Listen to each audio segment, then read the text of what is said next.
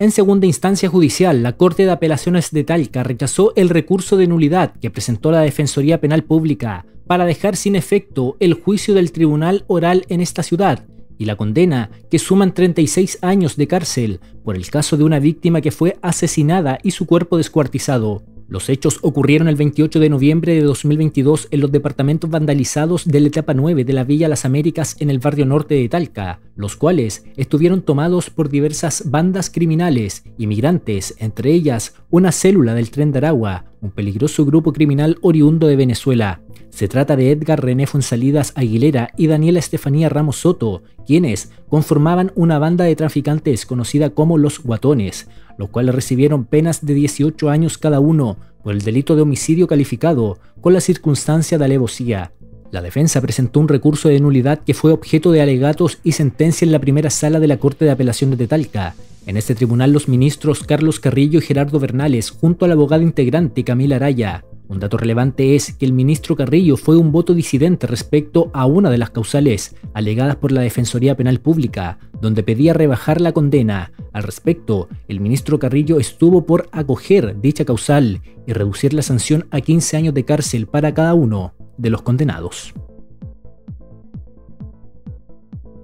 En juicio abreviado, Fernando Humberto Morales Luna, propietario de la funeraria San Javier de esta misma comuna, fue condenado a más de cuatro años de presidio por el delito consumado de falsificación de instrumento público. De acuerdo a los antecedentes reunidos por el Ministerio Público y tras órdenes de investigación emitidas a la PDI, Morales, con el objeto de captar más clientes, comenzó a ofrecer a las familias de personas fallecidas que concurrían a su empresa certificados de defunción contemplando además el servicio funerario. Para poder ofertar dicho trámite, usaba talonarios de certificados médicos timbrados con la identificación y datos de su hija de profesión médico, ya que conocía su firma. Aquello implica un grave peligro para la salud pública, con infracción al Código Sanitario, que establece que la inscripción de defunciones y la inhumación solo se puede realizar cuando se justifique previamente la causa de muerte por el médico que asistió a la persona en su última enfermedad.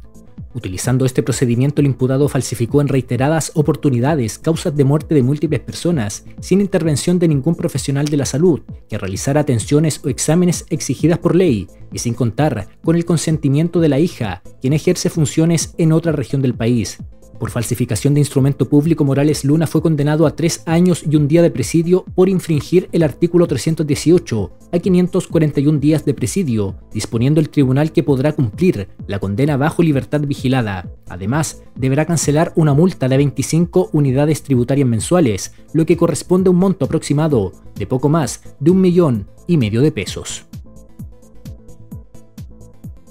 La tradición y la emotividad se unen en una velada artística que tendrá lugar el próximo miércoles 27 de marzo a las 19.30 horas en el Teatro Regional del Maule. El evento a cargo de la Orquesta Clásica del Maule bajo la dirección de Francisco Rettig y con la participación solista de la mezzo-soprano chilena Camila Aguilera presenta un programa especial de música sacra que celebra la Semana Santa con obras de Vivaldi, Barber y Bach. Las entradas para este evento están disponibles a través de vivoticket.cl con precios accesibles de 3 y 5 mil pesos. La Orquesta Clásica del Maule contempla la semana con una extensión de este programa, que se realizará el jueves 28 de marzo a las 19 horas, en la parroquia San Luis Gonzaga, ubicada en la Plaza Las Heras de Talca. Ahí ofrecerán a la congregación el mismo repertorio, con el fin de acercar su trabajo a nuevas audiencias.